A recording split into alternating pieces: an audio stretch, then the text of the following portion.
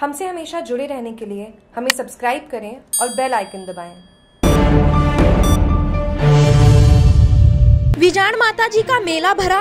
पूना के समाज सेवी भामाशाह उद्योगपति आबा सेठ नागर गोजी की तरफ़ से महाप्रसादी का आयोजन किया गया। नागानी से तीन किलोमीटर दूर करजार के पहाड़ों के बीच में बसा।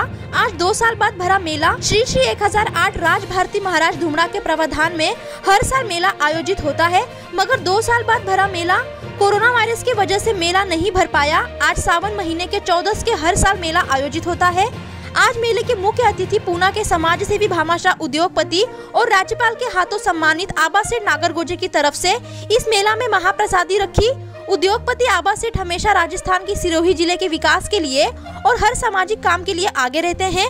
गौ माता के लिए हमेशा आगे रहते हैं। उद्योगपति आबा सेठ ने नागानी के नागजी महाराज गौशाला नागानी में गौ माता के बड़े स्लोड भी बनवाए हैं और भी सहयोग किए हैं। आबा सेठ गरीब परिवार की सहायता के लिए भी आगे आकर सेवा करते हैं।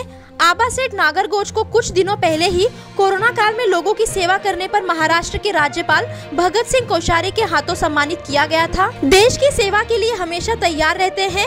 आज विजाण माता जी मेला में आबा सेठ नागरगोज की धर्म पत्नी लता नागरगोजे भी दर्शन किए। इस मौके पर समाज सेवी पन्नाराम चौधरी, महाराष्ट्र के बाजीराव देवाराम देवासी, समाज सेवी मोटाराम चौधरी, देवी सिंह देवड़ा, करजाल, समाज सेवी मालाराम प्रजापत, दिनेश चौधरी सनवाड़ा नैतीराम देवासी, उग्राराम चौधरी और आसपास गाँवों के लोगों ने विजाड़ माता जी के दर्शन किए और मेला का मज़ा लिया। समस्त करजाल नागानी सनपुर के आसपास गाँवों के लोगों ने भी भाग लिया। जागरूक टीवी के नागानी से महेंद्र सिंह परमार की रिपोर्ट।